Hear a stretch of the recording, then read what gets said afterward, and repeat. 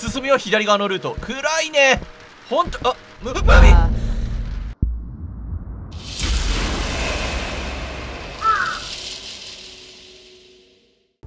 どうもー、鳥の爪団佐藤です。ホラーゲーム企画から説明第744弾はこちらのゲーム、インザファサード We Trust デモバージョンやっていきたいと思います。不安感が増していく廊下をループする PT 風のホラーゲームですね。まあ、ここ1、2年くらいで言うと、ループ系っていうのは8番出口の影響もあって、異変を探すタイプの開発が盛んだったんですが、割と純度の高い PT 風って感じの印象ですね。で、俺が面白そうだなって思ったポイントが、ストーリーを感じながらループを繰り返していくという点。謎の少女と未知の生物っていうのが登場するようで、この2人のどちらを信頼するかなどを考えながらループを繰り返していき、前のサイクルで得た知識を使って、今現在のサイクルをどう進めるか自分で選択していくという感じみたいですね。ということで、早速どんな恐怖が待ってるのかやっていきましょう。スタート取り詰めさあ、ということでじゃあやっていきましょう。まさに PT の開始のような謎の部屋からスタート。まあ、G が出てこないだけいいんですけども、えーこの扉を開けていけばいいのかな？あ、開いた？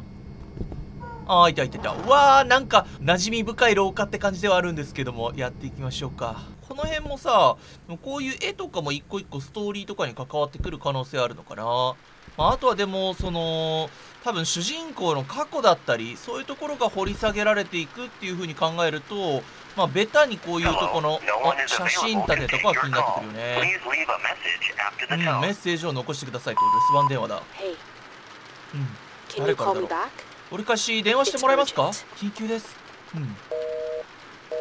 ちなみにあのねあのオプション画面にも書かれてたと思うんですけど機械翻訳という感じではあるみたいなんだけどもうちゃんとしてそうではあるよね。まあおいおいその辺のガバガバ具合とかも出てきちゃうのかもしんないけどもあで右クリックを押すとズームができると。いやでもこのなんかボケ感とかが気持ちいい。もう気持ちいいよここまで来ると。いいなあやっぱ PT ライクな質感って俺すごい好きなんだよなということで、えーこっち側が左側に続く廊下。あで右側に続く廊下もあると。あこの辺がでも PT 感もあるんだけど左右どちらを選択していくかみたいなところではあるのかな？女性の写真同じ人なのかな？あとラジオ？これは？メモとかは取ったりできないのか？あークリックとか E ボタンを押しても特にメモを取ったりとかっていう感じはなさそうですね。なるほどね。明らかに腐りきっているようなホットドッグか？何かがあるけども。でまたこの視野角が狭い感じがな？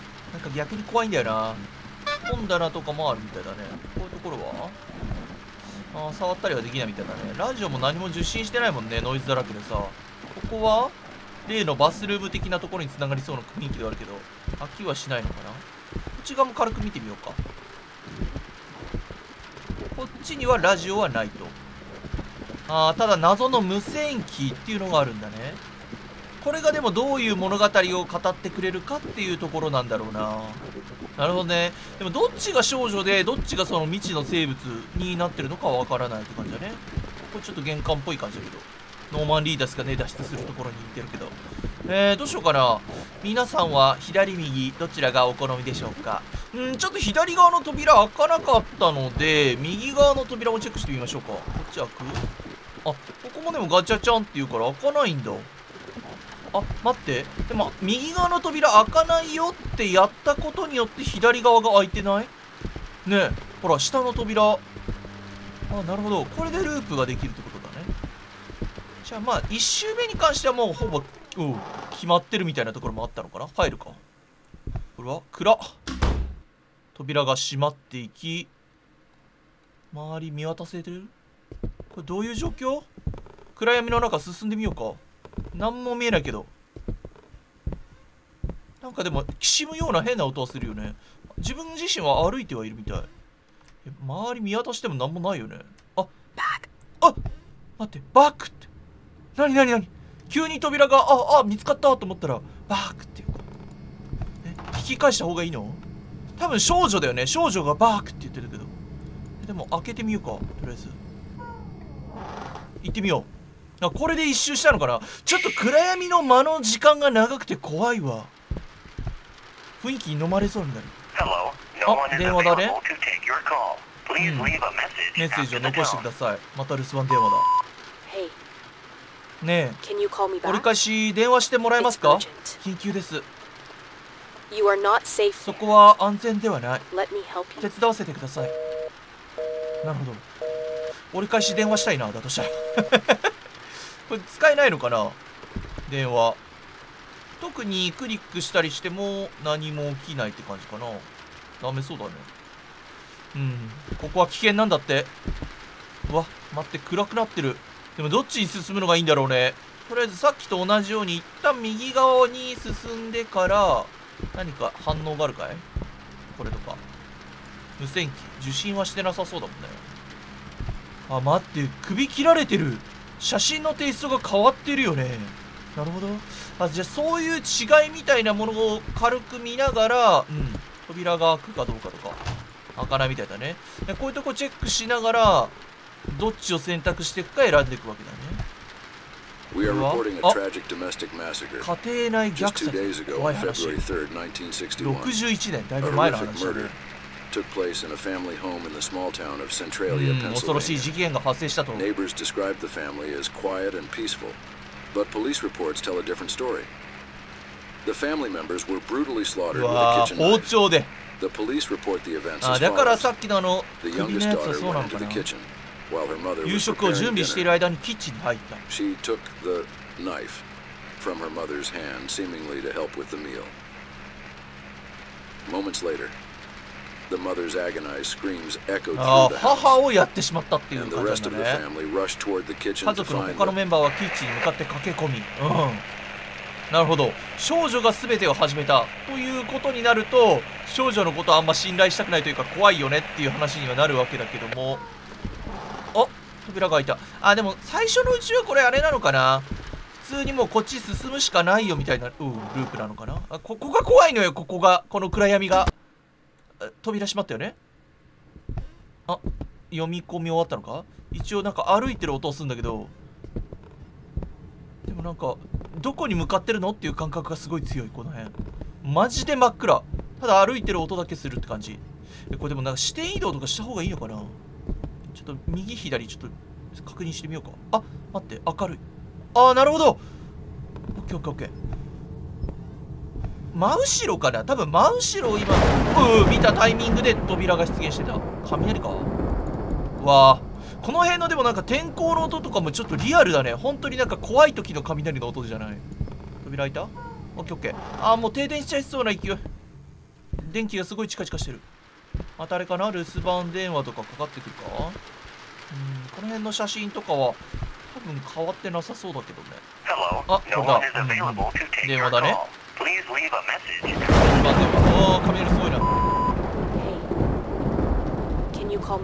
うんかけた方がいいよいい加減。緊急だって。あち You ょっとノイズ混じりになってる。そこは安全 me ではない.手伝わせてください。Look, 聞いて。You are not alone in そ.こにあなたは一人ではない。Pick up the phone. 電話を取る。うん。電話取りたいのよ俺。なんで毎回留守電なんだよ。ちょうどよくいいタイミングでかけてきてくれよえでもとなるとさこのなんか電話番号の手がかりになるものとかあったりするのかな？キーボードの番号をしたりしても電話とかにはなんなさそうだな。なんかこういうところちょっと謎解きみたいなテイストでもあったりするのか？あこれはちょっとあーにやりとしている。血ついてるよ。この辺もなんか家族の写真なのかな？あーお母さんがさっきやられたっていう話あったもんね。その辺とちょっと繋がってる感じだな。なるほどね。あ電気怖いなあ右側比較的明るいが下地で何か扉の上に書かれている。こっち側も？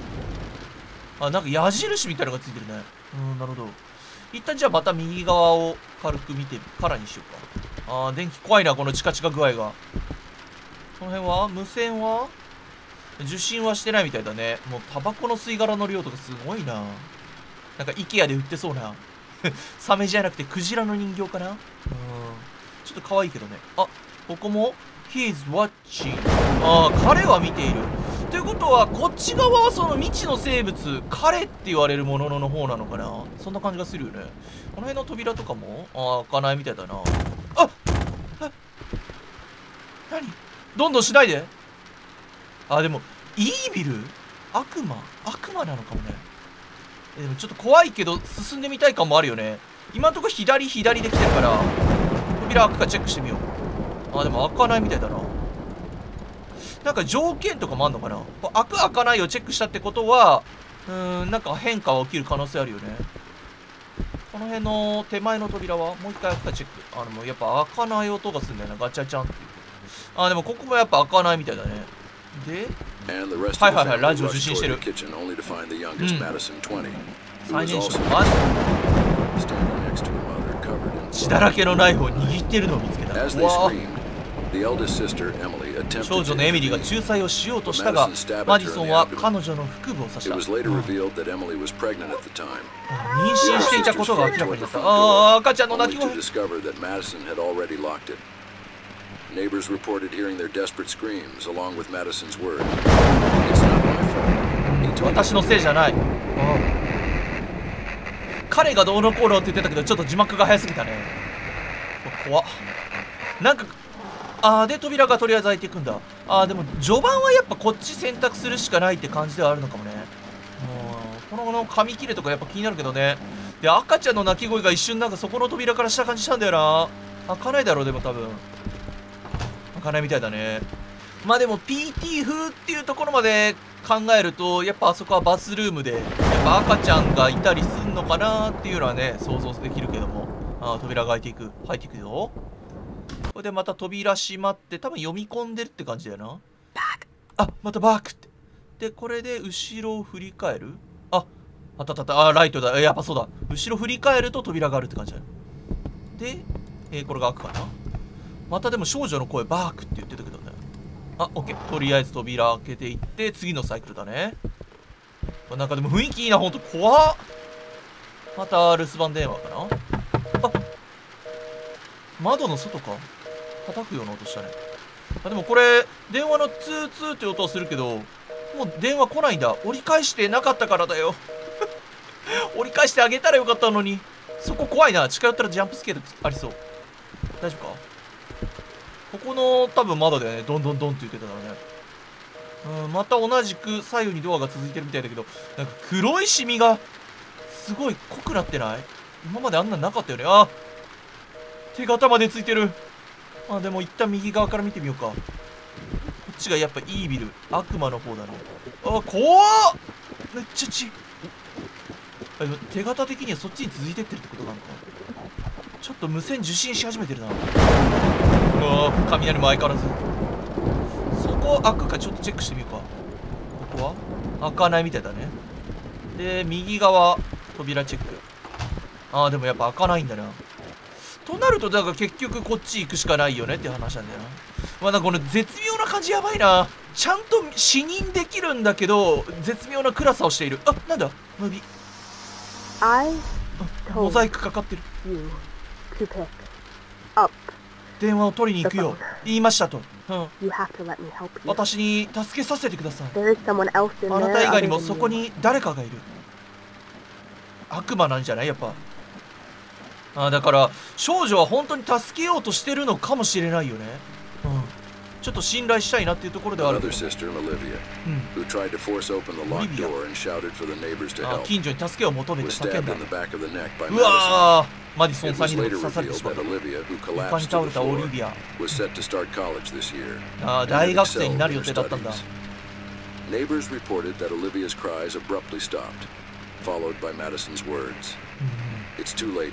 今はもう遅すぎる。彼が.言うことを全部しなければならないほう。その彼っていう存在こそが悪魔なのかなって感じではあるけどね。ああで扉がとりあえず開いていくと。これでさちなみに扉開いたけどこっち側を見たらどうなるんだろう。今までさ結構あのー純粋に従ってあっち入っちゃってたけど改めてこっち側行ってみるでしょ。受信してるのはでも変わらずって感じだよな。扉開かないのかな。あやっぱ開かないみたいだねここはやっぱまだ序章なんだろうな。なんかこのじわじわとなぶられている感じがあるね。怖いな。もうそこにはいないのかな。このでも助けてくれようとしている少女っていうのはマディソンなのかオリビアなのかまた別の人物なのか。ね姉妹みたいな設定みたいだけどさ。うーん。さあで暗闇の中入っていって。で歩けるようになったから後ろ振り返るよ。怖いな。これもなんか突然ジャンプスケアとかいつ来てもおかしくないのが怖い。で扉開けて次のループかな？ああ青くなってる！何これ？赤じゃない。今日は青だ！何これ？赤か青を選択する日も来るのか？電話を取ってってあんなに散々言われたのに取らなかった。だからはあはあ言ってる。左側か？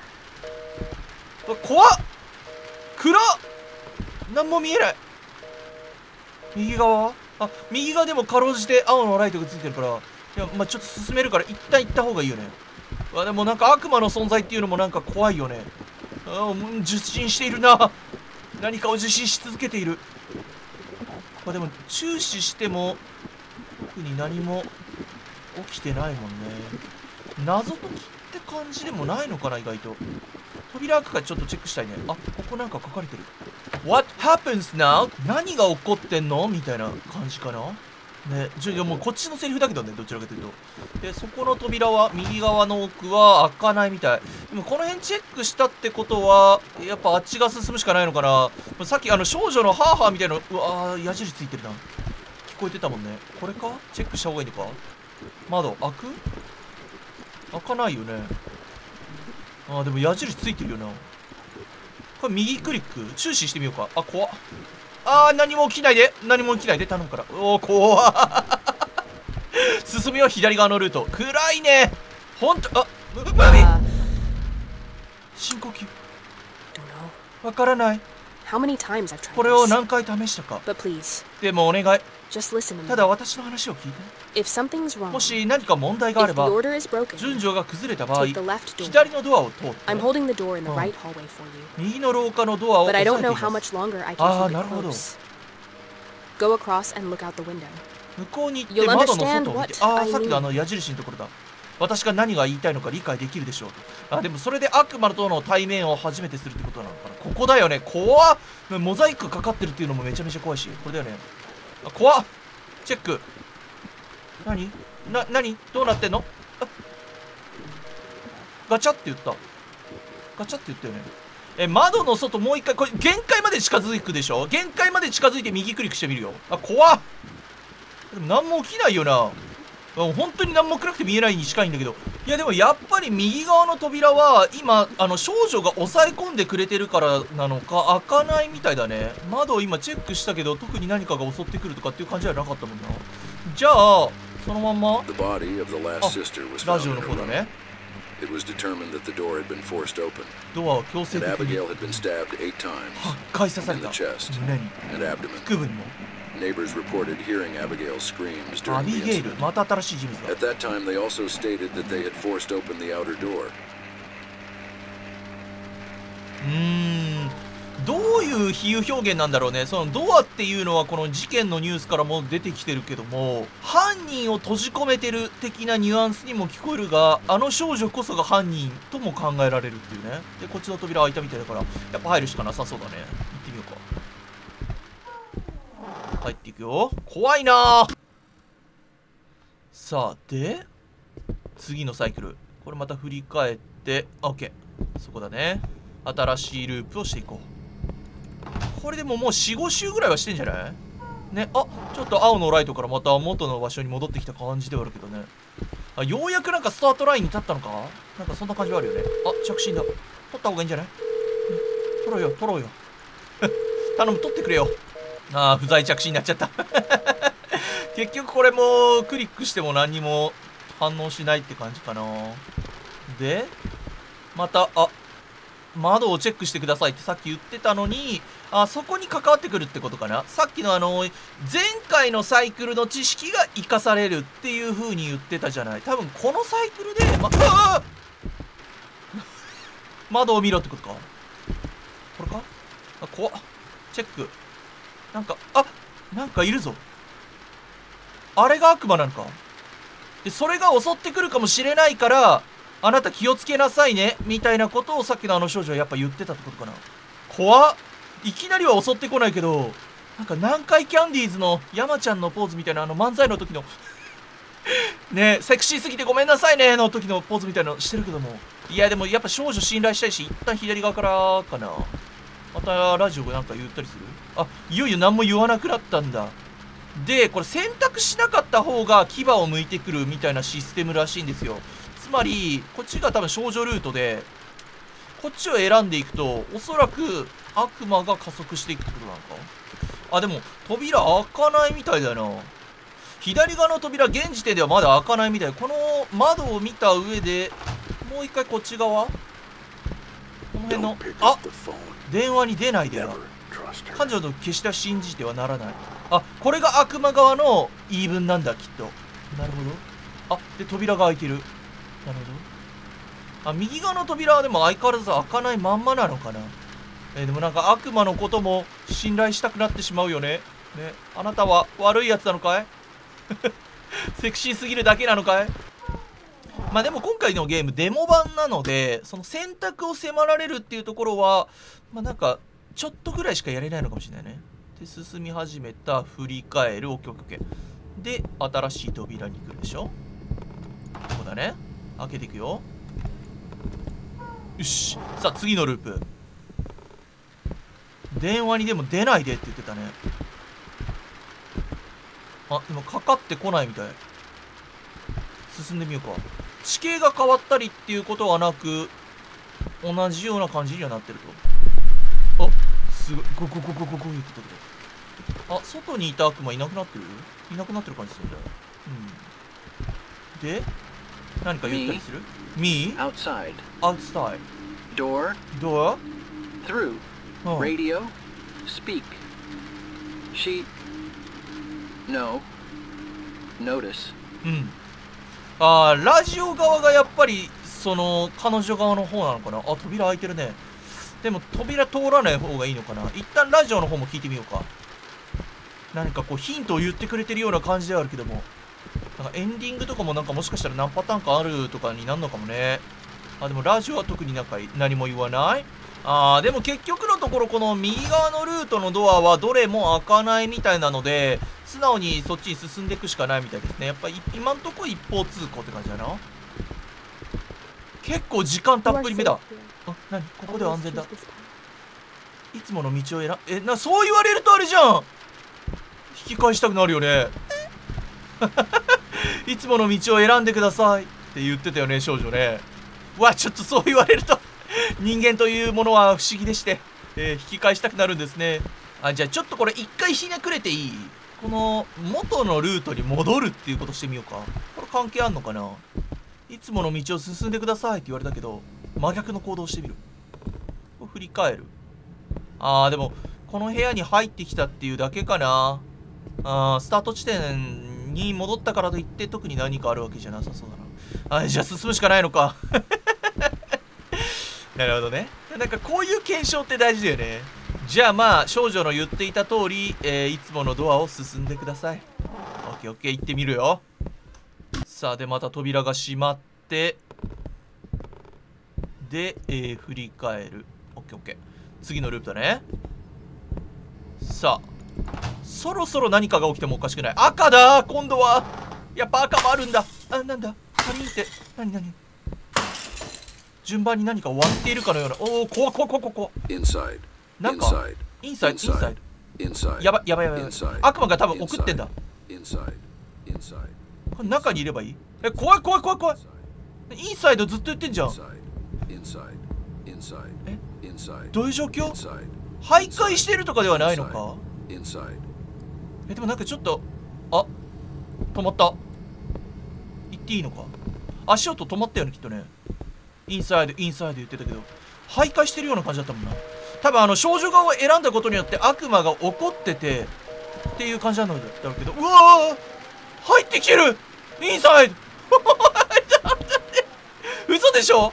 一旦ちょっとこっちちちょっと少女少女の言い分聞かして。お願いだから。なんか言って。え？ここ開かないの？左側。開かない感じ？左側開かないみたいです。えー、インサイドしてみようかなと思います。最悪だ。怖っ。閉まるのね。じゃあ開かないってことでいいのか？開かない。オッケーオッケーオッケーで何か言ってくれよ。なあ悪魔どんな気持ち？今。選ばれなくてどんな気持ち？ああっち側の扉開いてみたい。あーでもなんか変な音は受信してるけどね。相変わらず特に何もなしっていう感じかな。えじゃあもう進むしかないじゃんね。ごめんね。悪魔くんあなたのことも選択してあげたいんだけど結構あの少女の力が強くて一方的にこっちしか選べないみたいなの。多分そうだと思うんだよな。行ってみるか。うん。でも今回何もコンタクト取ってこなかったね女の子の方ね。でまた振り返る。オッケーオッケー次のループだね。さあでここは？あまたちょっとクリーンな空間に最初の空間に戻ってきたって感じだな。さあで電話を取るなと悪魔は言っていたけども電話はでもかかってきてないみたいだね。これは？あー同じような感じに戻ってきてる。あーインサイドできる！待って。えでも前回のサイクルのヒントで言うとやっぱ中に入るべきなのか？あ無理だ。え Hey, ねえ.心配しないで I won't hurt you. あなたを傷つけない。I'm the guy at the フランシーバーとラジオのところにいる男です。You believed her words, 彼女の言葉を信じたんでしょ？She controls you 嘘と外見で、like、あなたを操り人形のようにコントロールしている。うん私があなたのように見えないからと言って私をモンスターにするわけではない彼女は、うん、彼女が本当のモンスターだ一歩一歩操っていた気づかなかったの？あなたの幸福を一瞬でも考えた誰かは、右のドアの背後にあるものを見せてくれただろう。右のドアには行くなというのではなく、なるほどね、選択肢を見せただろう。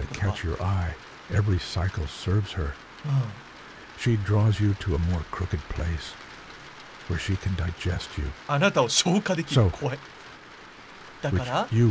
どのあなたなのかどのあなたが本当にあなたなのか.左のドアを決して使ってはならない。右のドアを使って.何があっても。構わない。うわあ悪魔のささやき声って感じだ本当に。でいよいよ右のドアが一応行けるようになったわけだ今回から。あなるほどね序盤は多分その彼女は選択肢すら行くなと言って見せなかった。うん本当にいいやつならまず選択肢を見せるじゃないか。みたいなことだよな。うわ行っちゃおう右側。悪魔くん。あ動け。左へ行けと。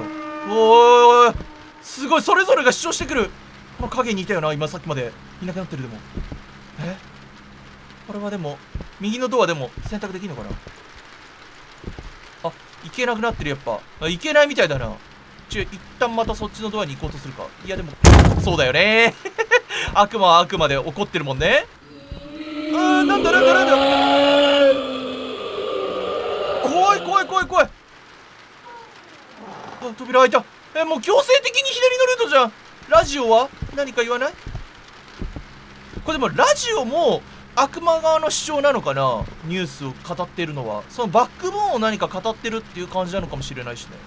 えでも入るしかないのか。もう一回だけ右のドアが開くか最終チェックしたんですけどやっぱ結局開かなさそうなので少女の言う通り左に進むしかないという感じですね。うん。あーでここでデモ版終了なんだ。いや多分いよいよその選択肢に入るところは本編でやろうねみたいな感じなんだろうね。いやでもこの序章だけでもかなりたっぷりめに遊ばせてくれてるしでその一個一個が全部怖い。で空間作りがとにかく不気味なんでほんと雰囲気に飲まれるなっていうところはすごくありましたね。はいということで今回は PT 風ホラーゲームの方に挑戦してきました。またこんな感じでいろんなホラーゲーム挑戦していきたいと思ってます。そういった今後の動画更新気になる方はぜひチャンネル登録して鳥の爪団に入団してみてくださいね。グッドボタンの方もよろしくお願いします。ということで今回はこの辺でまた別の動画でお会いしましょう。最後までご視聴ありがとうございました。大事なお知らせ。私書箱の契約期間満了に伴いファンレターなどの受け取りが終了します。11月25日までの到着分を除きその後は受け取ることができません。もしファンレターなどを送りたい方は11月25日までに送ってくださいね。音楽チャンネルフクロウのスピットのチャンネル登録もよろしくお願いします。年内に EP の配信を目指し制作中です。いつも動画を見てくれてありがとう。